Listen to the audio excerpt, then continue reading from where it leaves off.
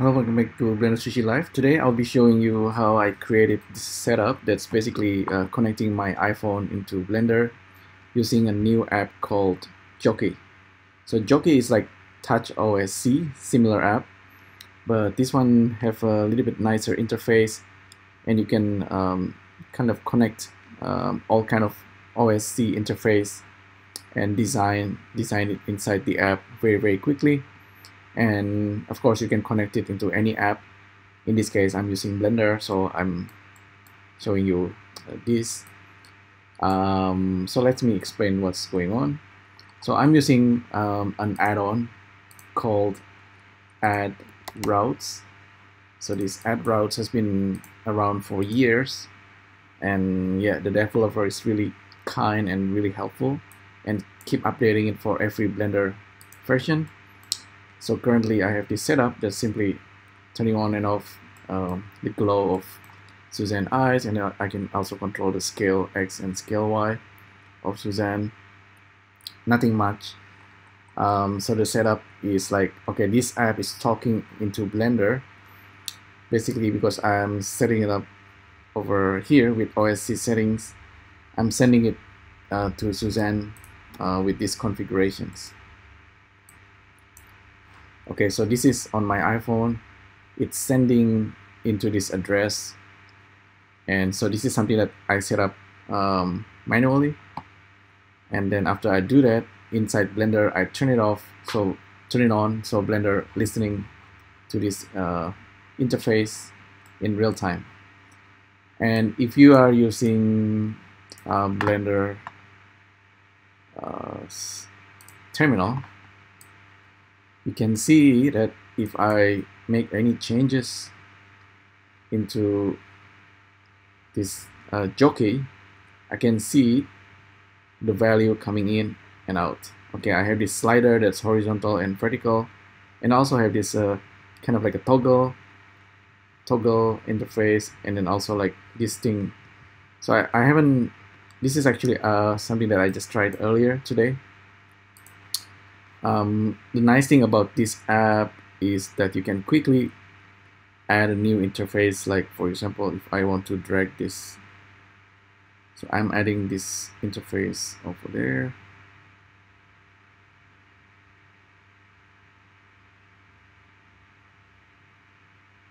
Okay something like that. I can just quickly go back. And now I have a new interface to play with and let's see the terminal if this is actually working. So indeed this one is working as well. So let me turn off ah, let me show you uh, that I can actually record the performance in real time if I want to. Um, let me show you how I set uh, I set this up very quickly so Suzanne in the scene and I have this controller and I have this terminal that's showing what's going on.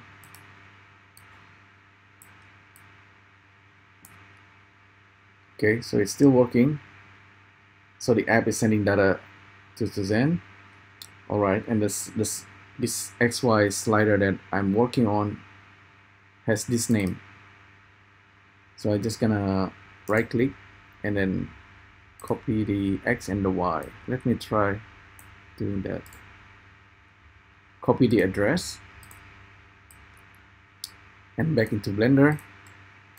So with Suzanne, um, I can control the X and Y using Add Routes add-on simply by right-clicking on the parameter, create a real-time route. By doing that, you actually create another route here.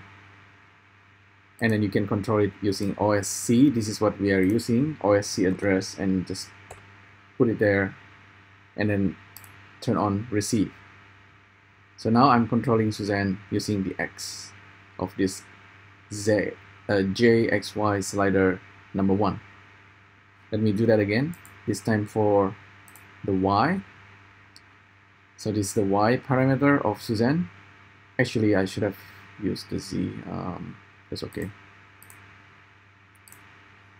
copy paste set this to Y replace and receive so I'm now supposedly controlling Suzanne in the y-axis as well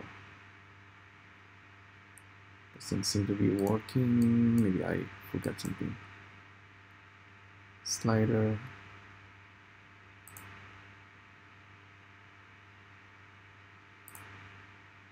Okay, maybe locations. Index 1 okay index 2 okay. Oh yeah that's a bit weird.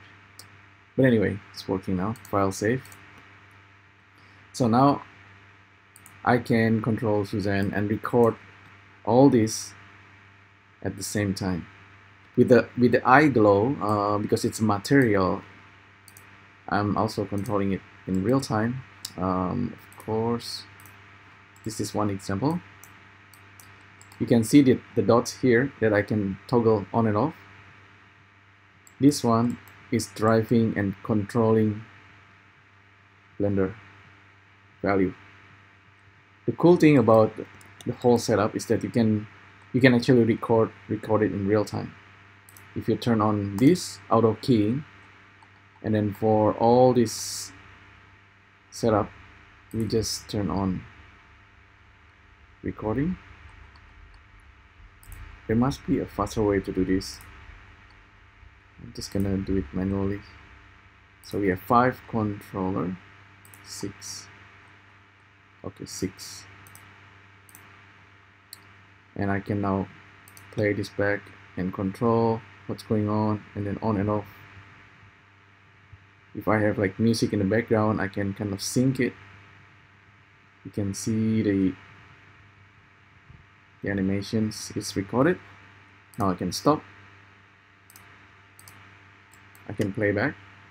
So this is the whole performance that I just did in real time so with a with a good computer this should be real time and perfectly sync in sync with the music. Um, yeah. And I don't know how to use it yet. Maybe um, let me think. So I can still control Suzanne even though it's already have keyframes right? Because uh, that's just the way it's uh, it's been set up the the controller in the in the jockey app is overriding whatever animations happening here. And normally if you record it again I think it will it, it will override the previous recording. But that's uh, really depends on how you set it up here with the recording.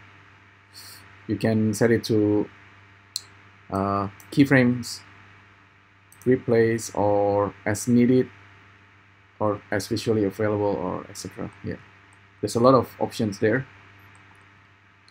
So yeah I think normally I think if you want to sync it to the music um, and you know make the eyes blinking on and off if you have a character animations that you want to do you can do that. Um, you can perhaps use it together with the face uh, face cap app to have your character heads moving around and controlling the blend shapes.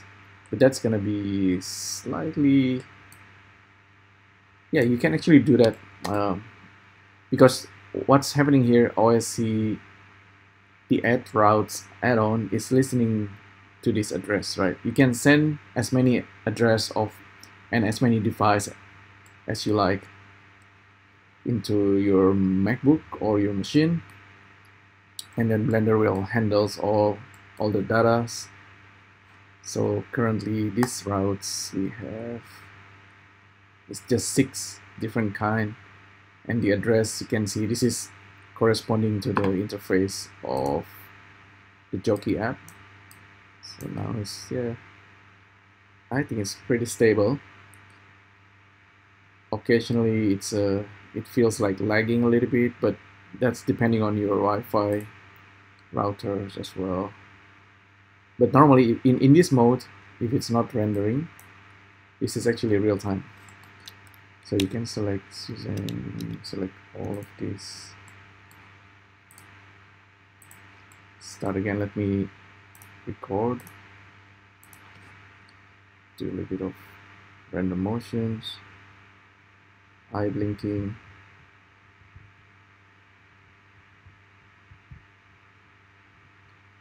Next time I'll try like a simple character rig or something. Okay, now it's animating. it's very fast. And I can still do the eye blink.